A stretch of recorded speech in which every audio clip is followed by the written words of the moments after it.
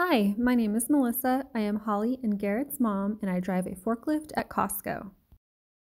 This is what Costco looks like on the inside.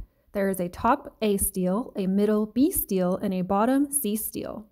That's where we keep all the extra pallets. For our uniform, we have collared shirts with Costco written on them, name badge with name and date, steel toe shoes, pants, no holes, no holes, and a nice clean shirt. This is what my forklift looks like.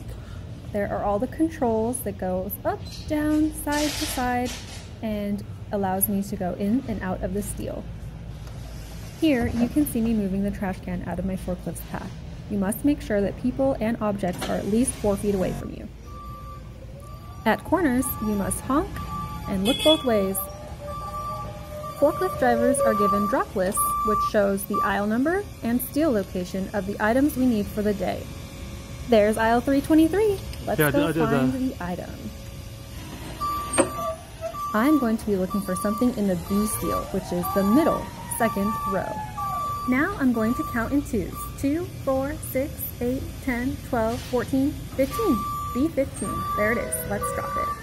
You count from the very beginning pallet on the left side all the way to the right until you find the pallet that you're looking for.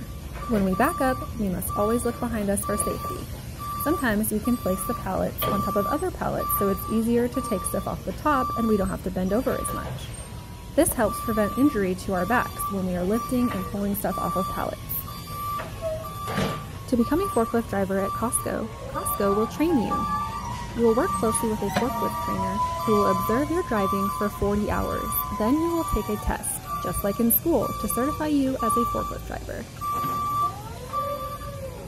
Here, I'm going to push this pallet out of my way to grab the next one.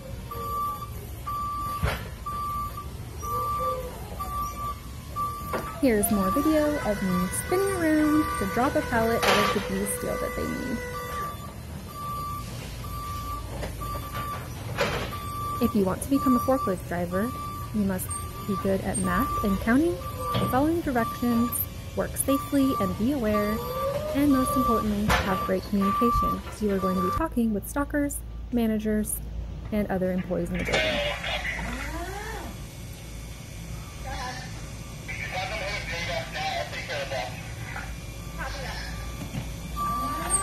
The big semi trucks that you see out on the roads are what bring all of our pallets to Costco. Our job as forklift drivers is to place the pallets either in the steel or stock them if they are new or if you don't have enough product.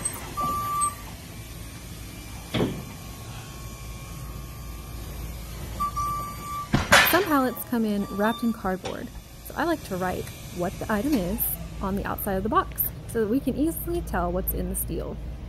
Make sure you're practicing your writing and spelling. Here's all the supplies I need for my job. I've got a pen and paper in case I need to write anything down to remember. I've got my radio to talk to people and a marker to write on the outside of pallets.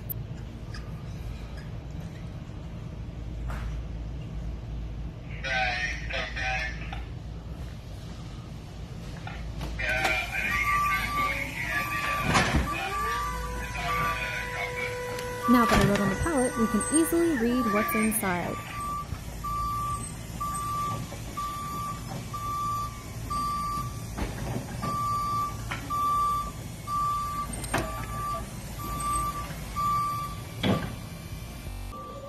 When you are driving, it is really important to be aware of your surroundings.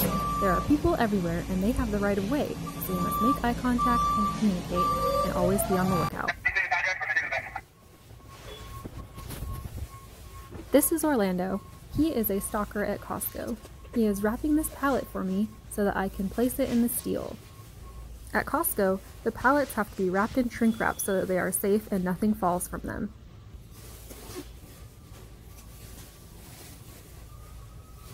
Now I'm going to hang that pallet that he just wrapped in the very top steel.